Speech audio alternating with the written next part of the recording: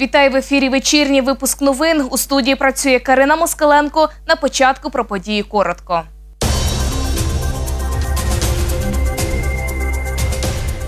П'ятдесят вісім виборців на Полтавщині змінили місце голосування на позачергових парламентських виборах. Це від 24 травня. Процедуру можна здійснити до 15 липня включно.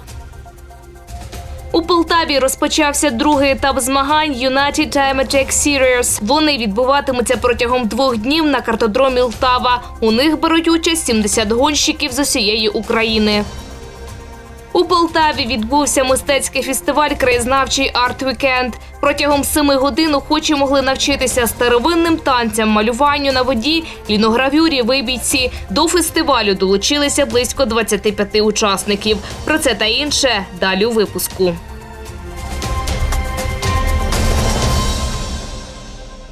П'ятдесят вісім виборців на Полтавщині змінили місце голосування на позачергових парламентських виборах. Про це розповів начальник обласного відділу адміністрування Держреєстру виборців Юрій Северин. Це від 24 травня. Процедуру можна здійснити до 15 липня включно. Для зміни місця голосування необхідно зробити 5 кроків. Які далі? Прийти до відділу ведення Держреєстру виборців із паспортом, написати заяву та вказати бажану дільницю для голосування і причину її зміни, отримати посвідчення і 21 липня з'явитися на нову дільницю. Це те, що потрібно зробити для того, щоб проголосувати на іншій дільниці на позачергових парламентських виборах. Бере- Беремо оригінал паспорта. Згідно цього оригіналу паспорта ми вводимо дані людини в систему, знаходимо, якщо громадянин зареєстрований, якщо громадянин включений до реєстру, ми міняємо голосування за бажанням громадянина, куди він хоче. Цю процедуру 29 травня ЦВК спростила, каже Юрій Северин. Тепер довідки не потрібні, лише заява і паспорт. Виборцю зараз не потрібно надавати підтверджуючі документи про те, що він буде знаходитися в тому чи іншому місці. Раніше довідка могла бути. Це могло бути довідка про відрядження, про навчання, е, оренда житла. Ось таке посвідчення отримує виборець. Посвідчення зазначено прізвище ім'я по батькові громадянина і виборча дільниця та округ, який змінено адресу голосування. Виборець, який змінив місце голосування поза межами одномандатного виборчого округу, до якого він відноситься, отримає замість двох бюлетенів один. Це для голосування у загальнодержавному багатомандатному окрузі, тобто за партію. За кандидата-мажоритарника він не зможе проголосувати, каже Юрій Северин. І виборець може за нього голосувати тільки тоді, коли він буде знаходитися в межах цього округу. Тоді виборець не матиме змоги отримати такий бюлетень, і він отриматиме лише один бюлетень за голосування за списками політичних партій. За словами начальника обласного відділу адміністрування Держреєстру виборців Юрія Северина, процес тимчасової зміни місця голосування на позачергових парламентських виборах розпочався 24 травня і триватиме до 15 липня включно. Дострокові вибори до Верховної Ради відбудуться 21 липня. Карина Москаленко, Богдан Казиріт. Новини ЮА Полтава. За минулу добу двоє військових травмувалися у зоні проведення операції об'єднаних сил. Про це повідомив представник прес-центру операції об'єднаних сил Олексій Жуганов. За його словами, збройні формування Росії 10 разів порушили режим припинення вогню. Позиції наших військових обстріляли біля Водяного, Мар'їнки, Красногорівки, Авдіївки, Старогнатівки. На Луганщині біля Травневого та Новолуганського. П'ятьох окупантів поранили. У Полтаві розпочався другий етап змагань United Time Attack Series. Вони відбуватимуться протягом двох днів на картодромі Лтава. У них беруть участь 70 гонщиків з усієї України. Яким був перший день змагань, бачив Ігор Ізотов. О 9 ранку на картодромі розпочинають автоперегони. Сьогодні кваліфікаційні заїзди. Сьогодні пілоти повинні е, показати найкращий час кола, щоб е, кваліфікації займати кращу позицію під час старту завтра. Е, Приїхало 70 пілотів. Змагаються учасники у шести класах з повним та моноприводом. Перед стартом автівки оглядає технічний комісар Антон Горгуль. Ми проводимо передстартову технічну інспекцію автомобілів на е, предмети безпеки, такі як паски безпеки, сидіння, руль, ну, кермо перевіряємо, е, щоб все було надійно закріплено. Автомобілі також перевіряємо технічні вимоги на відповідність класам змагань. Після огляду механіки готують до старту автівку дніпрянина Артема Погасія.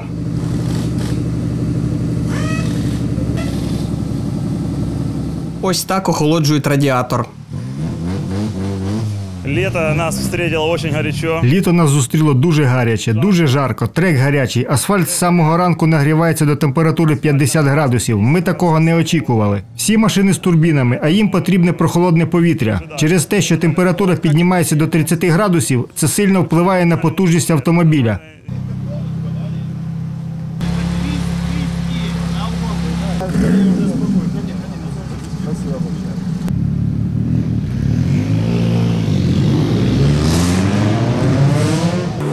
Класі АВД виступає полтавець Геннадій Лук'янчиков. Він проїхав коло за 53 секунди. Завтра планую Завтра планую проїхати швидше і покращити результат, але спека не сприяє цьому. Моя задача проїхати за 51,5 секунди, відіграти ці півтори секунди. Основні заїзди відбудуться завтра на картодромі Лтава. Там визначать шістьох переможців у кожному з класів. Нагадаємо, це другий етап United Time Attack. Фінал запланований на жовтень цього року. Ігор Ізотов, Микола Єрьоменко, новини ЮА Полтава. Сьогодні на Котелевщині відбувся велопробіг маршрутом стежками Більського городища. У ньому взяли участь близько 30 учасників. Вони поїхали із Котельви, Полтави, а також Охтирки Сумської області та Харкова. Про це розповіла співорганізаторка заходу Оксана Дорошенко. Велопробіг розпочався о 9 ранку і завершили близько 18.30. Веломаршрут стежками Більського городища розпочинається із центру Котельви від цього дуба. Протяжність маршруту 40 кілометрів. Один із пунктів Барвінкова гора. Він за 5 кілометрів від старту. Маршрут включає 12 місць, які розміщені у Більському городищі. Останній пункт веломаршруту в урочисті Рубіжне. Тут, за словами одного з його розробників Андрія Семененка, у 17 столітті був кордон між Річчю Посполитою та Московським царством. У Полтаві відбувся мистецький фестиваль краєзнавчий арт-вікенд. Протягом семи годин охочі могли навчитися старовинним танцям, малюванню на воді, ліногравюрі, вибійці тощо. До фестивалю долучилися близько 25 учасників, розповіла співорганізаторка заходу Нато Мікеладзе. Як усе було, бачила наша знімальна група.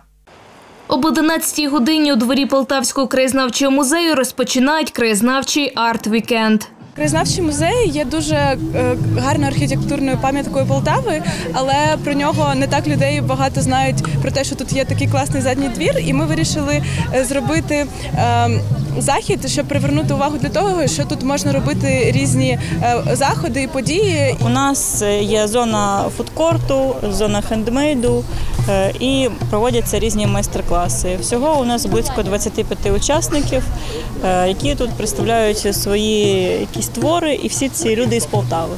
На цій локації вчили стріляти з лука. Тут гості заходу приміряли обладунки епохи середньовіччя. Мне интересно, как Мені стало цікаво, як відчували себе лицарі. Усе це дуже важке. В наборе здесь идет лад. У наборі панцирні плечі, руки, кольчуга, плащ і два мечі. Це зробили для того, щоб люди зацікавилися історією і відчули себе у цій ролі. Усе, що тут представлено, це зробили люди, які займаються історичною реконструкцією і фехтуванням. Ось тут охочих вчили танцям.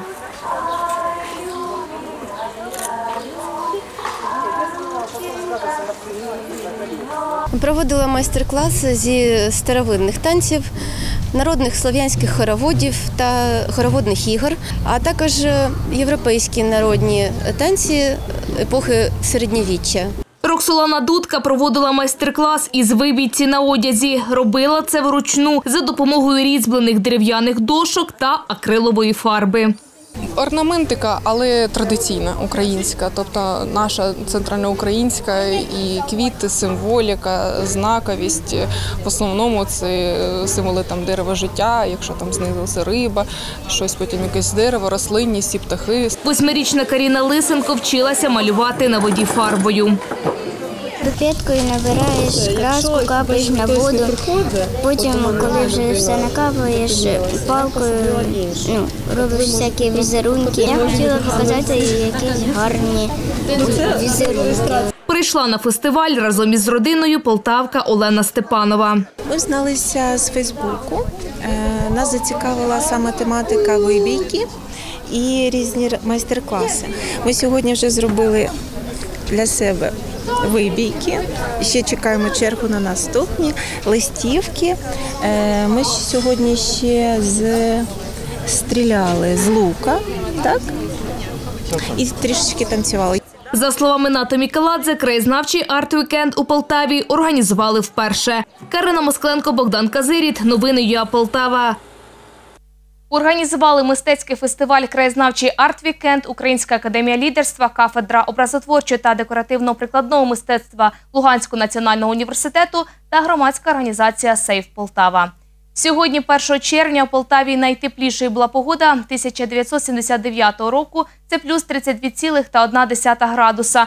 Це відомості аналізу погоди із 1944 до 2018 року, повідомила синоптик обласного гідромоцентру Олена Панченко. Найнижча температура цього дня у Полтаві плюс 4,1 градуса була 1951-го.